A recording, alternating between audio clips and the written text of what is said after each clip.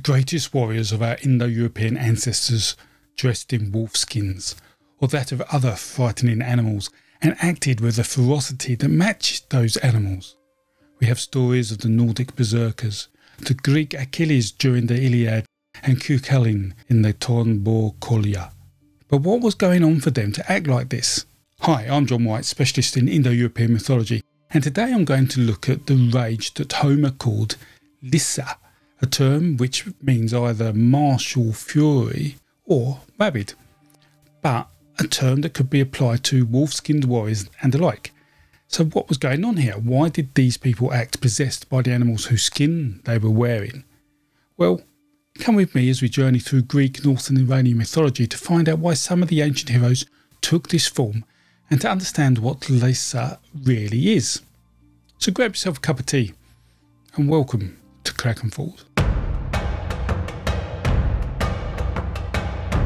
So, where's the best place to start to find out what Lyssa is?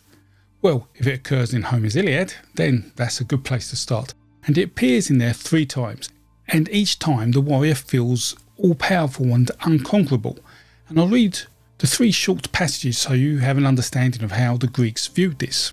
Hector, exulting greatly in his might, rages vehemently, relying of Zeus and holding no one in respect, neither man nor gods, and the powerful Lyssa has entered him. And a short while later in the book, we see it again. For now you might take Hector, as he would come very near to you, possessing deadly Lyssa, and he thinks that not one of the Danaans whom the ships brought hither is like unto himself. Finally, we see it when Achilles is in front of Troy. Thus Priam spoke, and they loosened the gates and thrust back the bolts, and the gates spreading produced light.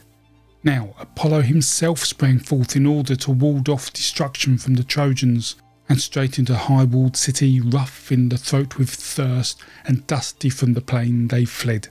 Achilles followed impetuously with his spear, and powerful Lyssa unrelentingly possessed his heart. So even though these were probably the strongest characters in the story, we see that when possessed with this Lyssa, they were willing to fight anyone. But there's also this confusion on whether the person involved is in possession of Lyssa or whether the Lyssa is in possession of the person.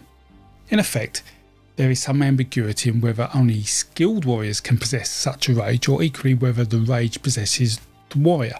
And this type of rage is seen amongst a number of Indo-European stories. And perhaps one of the most obvious examples of this is the description of berserkers experiencing the fury the Germanic Vut with a clear view from the Ynglinga Saga, chapter 6, with a passage that reads They went without shields and were made as dogs or wolves, and bit on their shields. And they were strong as bears or bulls, men they slew, and neither far nor still would deal with them. And this is what is called the fury of the berserker. The Celts also recognised this state of fury, a state they called Ferg, and it is seen most clearly in the great Irish hero Cuchulainn within the Táin Bó Cúailnge.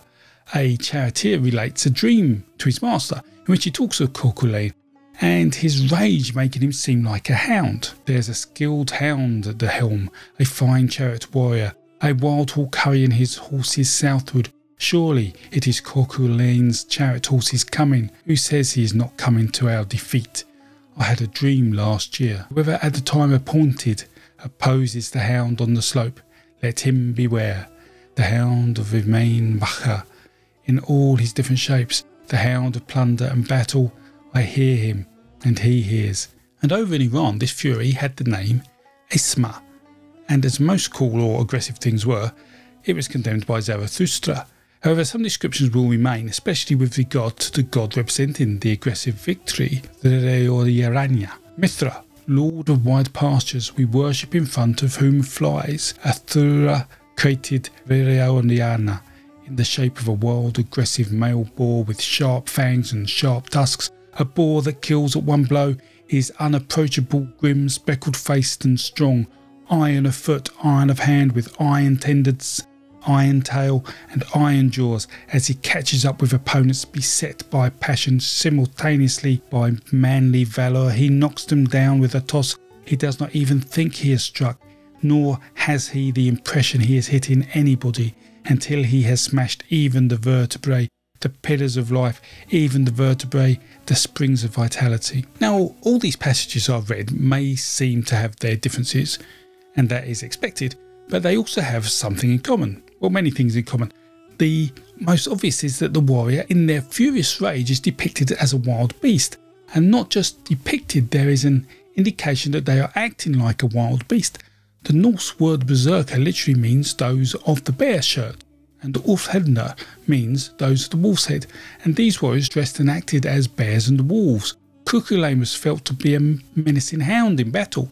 The first syllable of his name, Ku, actually means hound, and the Iranian Reorena means raging boar, although he was known to take up to 10 different forms, and Heracles in Hesiod's description of him was also known as a raging boar. And so, what we have are warriors who are masquerading as bears and wolves and boars and hounds, and all these forms taken up by the Indo European warriors used pelts and specially designed helmets resembling the animal's head. And we also have evidence that lions and foxes and rams and stallions may have also played a role in this possession. And so, what was going on? Well, what is going on is that you haven't hit the like and subscribe button. That are free to use and help this channel out so much if you press them. So that would be great. Thank you. But what really was going on? Well, why were there warriors having these wolfish rages? Well, of all the powerful and carnivorous animals chosen, it is the wolf that seems to have been the most important for the Indo European warriors. Reflexes the old word for wolf, which is wulkor, are found in literally hundreds of proper names and numerous peoples such as the Luvians, the Lycians, the Hirpini, uh, Luceres, the Dacians, the Hyrcanians, and the Sakahumavaka. And all these are names that tell us that peoples are associated with wolves. Why are wolves popular? And why were there so many stories of lycanthropy among the Greeks and Romans, Germans and Celts, Anatolians and Iranians, all seemingly traced back to the warrior practices I've mentioned here? Well, the ideology seems straightforward and primitive. If one wears the skin of the wolf, one takes on the role of the wolf. Wild, ravenous, raging, and out of control. But it wasn't that simple.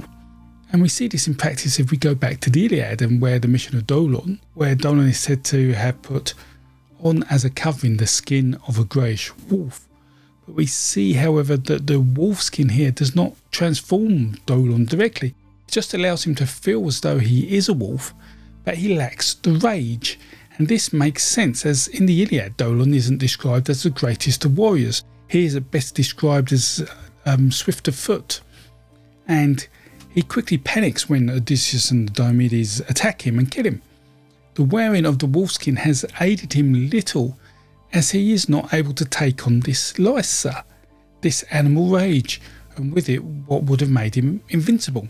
And this is because in all these stories with this special rage associated with the animal form, it is only accessible to the greatest of heroes. And it is this rage that is known as Ethma or Ferg or Vut, or as we started out in this journey known as the Lyssa. It is this that is known as wolfish rage or furor, a term derived from lycos or wolf, and harking back to a very ancient Indo-European warrior practice. But whilst Lyssa means fury, I also suggested at the very beginning it means rabid, and we should note that this word is only used to describe this illness in dogs or horses, but never in wolves. And the reason is that wolfish rage is not a disease of the wolf, it is their nature, this is how they are and that is their inherent manner. These heroes have to take on these Lyssa. And that is what it was. So I hope you enjoy that journey into these wolf warriors and berserkers. I'll talk more about the honour of such warriors in this video that has been recommended to you somewhere on the screen, um, which is based on a story from the old Icelandic sagas. And so until the next time we meet and talk, please stay safe and stay well. And this was Crecganford.